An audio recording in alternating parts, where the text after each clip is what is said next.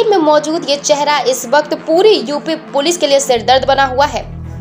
नाम मोहम्मद असद, पहचान अतीक अहमद का बेटा। जुर्म, उमेश पाल और उसके सुरक्षा कर्मियों की हत्या। मगर सवाल ये है कि असद इस वक्त कहाँ है? क्योंकि 24 फरवरी के बाद से वो फरार है, उसका अता पता किसी को नहीं मालूम। शाइस्ता परवीन और मोहम्मद असद, यानी माँ बेटे की इस मोस्ट वांटेड जोड़ी की तलाश प्रयागराज में उमेश पाल हत्याकांड में यूपी पुलिस सरगर्मी से कर रही है। बाप नंबरी, बेटा दस नंबरी। सौ से ज़्यादा मुकदमों का मुलजिम बाप जेल में बंद है, लेकिन शातिर बेटा फरार है। उमेश पाल हत्याकांड में पिस्टल से अंधाधुंध फायरिंग करने के बाद कितना शातिर है इसका खुलासा अब हो रहा है।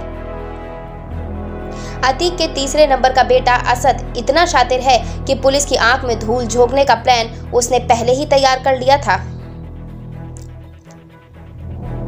वारदात के दिन वो इस सफ़ेद क्रेटा कार के पिछली सीट पर बैठा था।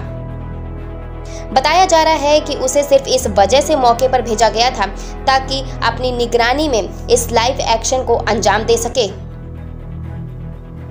लेकिन जोश में न केवल वो क्रेटा कार से उतर गया, बल्कि फायरिंग भी करने लगा।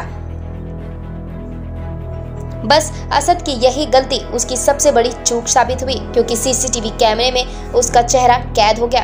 हालाँकि अपने जुर्म से बच निकलने का प्लान उसने पहले ही तय कर लिया था। असल में, पहले से ही उसके नाम कोई जुर्म दर्ज नहीं था, मगर इस जुर्म को उसने अपने चाचा और पिता के कहने पर ही अंजाम दिया। इसका खुलासा तब हुआ जब यूपीएसटीएफ की टीम लखनऊ में यूनिवर्सल अपार्टमेंट के उसके फ्लैट पर छापेमारी के लिए पहुँची।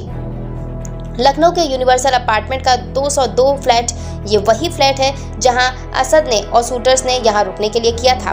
बताया जा रहा है कि यहाँ असद का आना जाना है, लेकिन पुलिस एसटीएफ की यहाँ रेट हुई और इस फ्लैट को उसके बाद सील कर दिया गया है। लेकिन अब जो तथ्य सामने आ रहे हैं कि असद की पूरी कोशिश थी कि साजिश थी कि पुलिस को गुमराह कर दिया जाए, इसलिए उसने अपने मोबाइल को उस लोकेशन पर छोड़ा था। एटीएम से ट्रांजैक्शन भी किया गया ताकि ये पता चल सके कि असद की मौजूदगी लखनऊ में थी, प्रयागराज में नहीं। सबसे हैरानी की बात तो ये खुलकर सामने आई कि असद ने पुलिस को गुमराह करने के लिए कुछ सबूतों को जानबूझकर इस तरीके से मौके पर छोड़ा ताकि तफ्तीश की दिशा भटक जाए। फ्लैट से पुलिस को असद के आईफोन बरामद हुआ। एसटीएफ के मुताबिक ये उसने जानबूझकर यहाँ छोड़ा ताकि बाद में वो ये साबित कर सके कि उसकी लोकेशन प्रयागराज में नहीं लखनऊ में है। इसी चाल के तहत उसकी बुआ आयशा नूरी ने बातचीत में पूरे भरोसे के साथ दावा किया था कि वो लखनऊ में है अपने फ्लैट में है। फ़ोटो देखिए आपने? असद है उसमें? नहीं असद उसमें नहीं था बिल्कुल असद। वो वो अली वहाँ लखनऊ के डिग्री कॉलेज में आप लोग सब मालूम कर लीजिए सर हम इतना बता रहे हैं हमारे पति को अभी एस ने उठा लिया। 24 फरवरी को असद कहाँ था? लखनऊ में था। जिस डिग्री कॉलेज में पढ़ता है, जिस फ्लैट पे रहता है।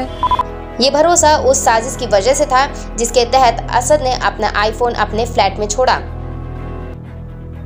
लेकिन सिर्फ़ फ़ोन ही नहीं, अपने एटीएम कार्ड से भी असद ने लखनऊ के एक एटीएम से पैसे निकलवाए, ताकि ये साबित हो सके कि वो लखनऊ में ही था।